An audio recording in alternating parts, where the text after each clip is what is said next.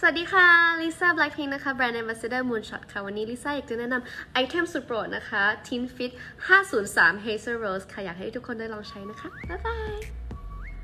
สวัสดีครับลิซ่าแบ็คพิงนี่ช่วงนี้ปังมากจริงๆนะฮะ ถึงแม้ว่ารายการยู t วิดยูเนี่ยจะจบเป็นที่เรียบร้อยแล้ว แต่ควันหลงก็ยังออกมาเรื่อยๆ ตลอดเวลา นอกจากเธอจะไปสร้างชื่อเสียงส่วนตัวแล้วก็วงแบ็คพิงที่จีนแล้วเนี่ย เธอก็ยังสร้างชื่อเสียงให้กับประเทศไทยด้วยนะครับ ถ้าใครมีเพื่อนต่างชาติน่าจะรู้นะฮะว่าภาษาไทยเนี่ยหลายๆคนนะครับเขาจะบ่นกันว่าเรียนยากมาก เขียนยากมาก แต่อันนี้ครับ คนจีนเขาพยายามเขียนภาษาไทยขอบคุณลิซ่าที่ไปออกรายการนะเออ คิดดูเขามีความพยายามมากขนาดไหน ก็ดีนะครับ เป็นการเผยแพร่วัฒนธรรมไทยไปในตัวด้วย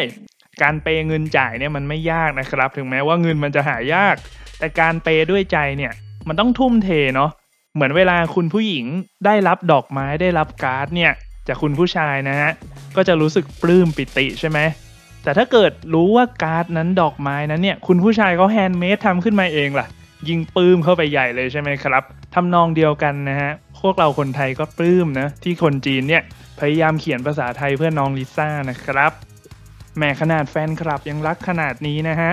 คนใกล้ตัวอย่าง manager นี่ไม่น่าทรยศเธอเลยนะครับ ไม่น่าหักหลังเธอเลย โกงเงินไปตั้งเกือบ 26 ล้านบาทเชียวแน่แหมผีพนันเข้าสิงเนาะก็เที่ยวนี้ลิซ่าแบ็คพิงที่ไปจีนเนี่ยก็น่าจะโกยเงินไปอีกหลายสิบล้านบาทนะฮะ กับการเป็นพรีเซนเตอร์นมเปรี้ยวยี่ห้อดังที่จีน โดยก่อนหน้านี้ก็เพิ่งโกยเงินมาจากน้ำยายี่ห้อดังนะฮะน้ำยาปรับผ้านุ่มยี่ห้อดังอย่างดาวนี่แต่แน่นอนครับที่รวยแรงไม่แพ้ลิซ่าก็ต้องค่ายสังกัดอย่าง YG Entertainment นะฮะที่ได้เปอร์เซ็นต์จากศิลปินไป แล้วก็มีสาวก Blink จีนนะฮะลุมล้อมมากมาย รวมถึงแบรนด์ดังสินค้าต่างๆ อีกมากกว่า 10 แบรนด์เนี่ยที่จีนจ่อจับตัวลิซ่ามาเป็นพรีเซนเตอร์เพราะจะจ่ายหนักยังไงก็โคตรคุ้มนะครับ สินค้าหมดอย่างรวดเร็ว แฟนคลับพร้อมเชียร์ตลอด พลังลิซ่านี่ได้ผลคุ้มเกินจริงครับ การเจาะตลาดจีนนี่ไม่ง่ายนะ แต่ถ้าเจาะได้ก็คือสุดยอด เพราะคนจีนมีเยอะอยู่ทั่วโลก แล้วก็พลังอำนาจซื้อมหาศาลมากจริง ๆ ก็ถือเป็นส่วนผสมที่ลงตัวนะฮะ เป็นโอกาสของวงการเคป๊อปที่จะแทรกเข้าไปในจีน เพราะว่าความจริงแล้วเนี่ยจีนกับเกาหลีใต้เขามีปัญหาส่วนตัวเรื้อรังมานาน ก็อาศัยลิซ่าแบ็คพิงเนี่ยแหละที่มีเชื้อไทย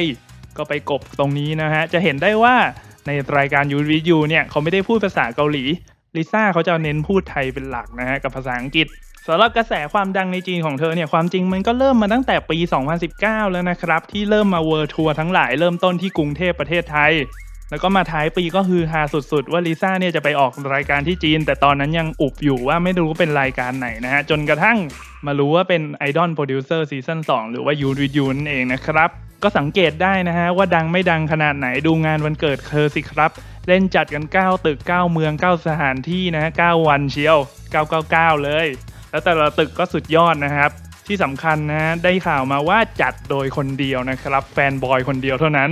หรือในเว้ยป่อล่าสุดอย่างเธอเนี่ยครับก็มีคนติดตามตั้ง 5 ล้านคนแล้ว รวมถึงเพลง Sour Candy เนี่ยที่ออกมาแป๊บเดียวนะฮะก็หลัก 10 ล้านวิวเข้าไปแล้ว ถึงแม้จะมีบางคนมาเน็บแนมเธอว่าเป็นเพลงขยะหรืออะไรบ้างก็เถอะนะแหมเพลงขยะอะไรแป๊บเดียว 10 ล้านวิวนะฮะ และถ้าจะพูดถึงแฟนบอยที่เหนียวแน่นที่สุดคนนั้นนะครับ ที่เปย์สุดๆเนี่ยก็คงหนีไม่พ้นลิลี่บอยแฟนชาวจีนคนนี้นั่นเองนะฮะ น่าจะเป็นหนึ่งในจุดเริ่มต้นที่ทำให้คนจีนเนี่ยหันมารักน้องเชียวแหละก็ต้องขอบคุณเขามากๆ ที่สำคัญพี่แกเล่นสักบนตัวเลยนะครับ ว่าลาลิสามโนบาลสุดจริงๆฮะชายคนนี้ และล่าสุดครับลิซ่าก็ไม่ได้ดังอยู่แค่ในวงการบันเทิงเท่านั้นนะฮะ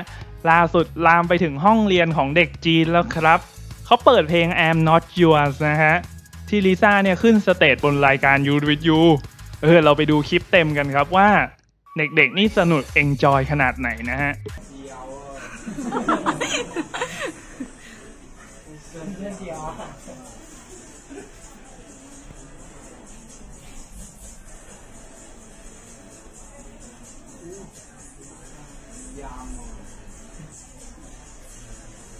我